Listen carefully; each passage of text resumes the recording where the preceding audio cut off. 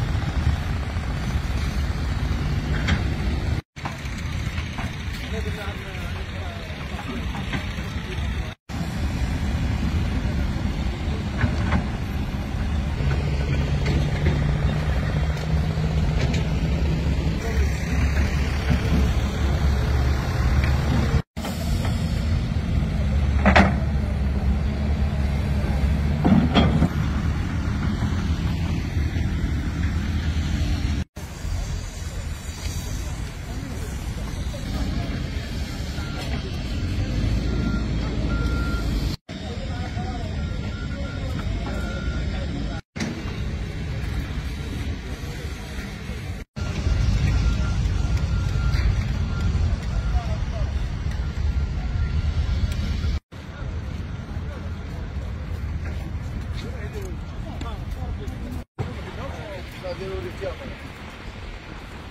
طلعوها من انا سلامه ديروا لي ما درناش ما يستلفش